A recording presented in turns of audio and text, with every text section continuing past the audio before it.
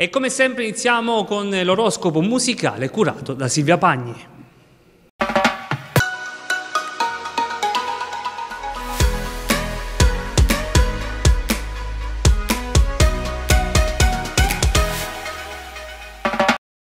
Bentornati a tutti all'oroscopo musicale. Oggi 17 gennaio nasce una grande cantante e attrice italiana, nata però in Cairo che niente di meno lei prese il primo disco diamante.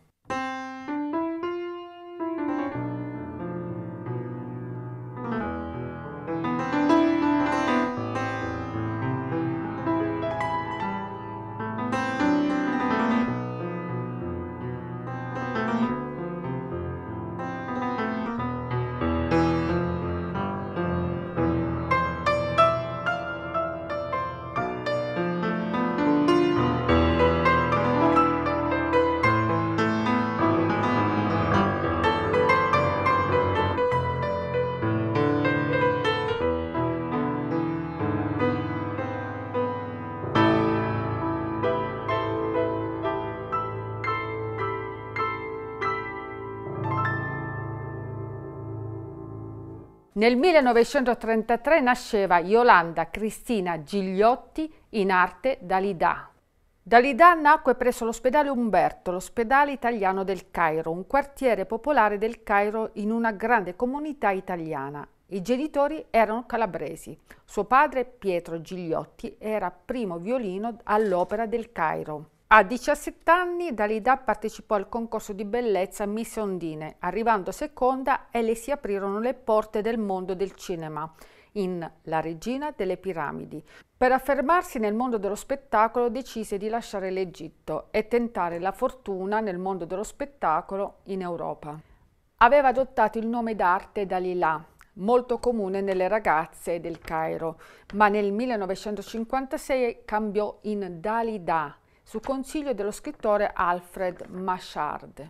Vinse anche un disco d'oro, il suo primo disco d'oro con il brano Bambino. Iniziò a farsi valere anche come cantante, infatti eh, registrò e cantò i brani di Domenico Modugno come Piove, nel blu dipinto di blu in versione francese e anche la piccolissima serenata di Teddy Reno.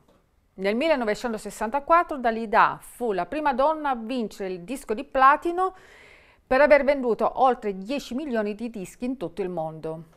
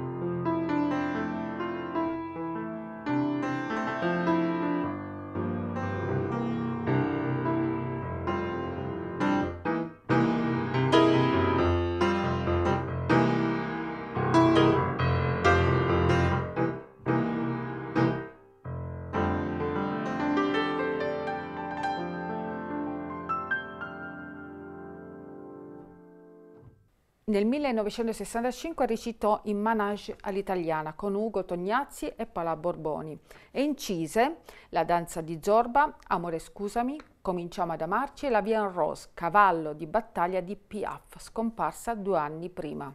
Partecipando a Canzonissima conobbe Luigi Tenco e con lui incise Bang Bang e così decisero di tentare Sanremo con Ciao Amore Ciao. Sanremo non sarà né un successo né dal punto di vista professionale nemmeno personale. La tragedia della morte di Tenco, sulla quale Dalida stessa dirà molto poco, ha numerose versioni che con il tempo si vanno mischiando alla leggenda. Dopo la tragica morte di Luigi Tenco a Sanremo, Dalida decide di tornare a Parigi. Il 26 febbraio nel 1967 tenta di togliersi la vita nell'albergo Prince de Galles a Parigi, dove aveva soggiornato con lo stesso Tenco prima di Sanremo. Viene salvata da una cameriera. Nel 1984 per la televisione francese registra un programma dal titolo Dalida Ideal, Calimba de Luna del celebre percussionista e musicista napoletano Tony Esposito e il 45 giri del 1984 e con Semplicemente Così nell'86 presenta il suo ultimo vinile singolo uscito in Italia al Maurizio Costanzo Show. Nel 1970 si suicida anche l'ex marito, provocando alla cantante un forte dolore. Con la morte di Luigi Tenco e il suicidio dell'ex marito, eh, fu tanta la depressione che la portò alla morte nel maggio dello stesso anno. Muore nella notte tra il 2 e il 3 maggio dell'87, a 20 anni dal primo tentativo di suicidio.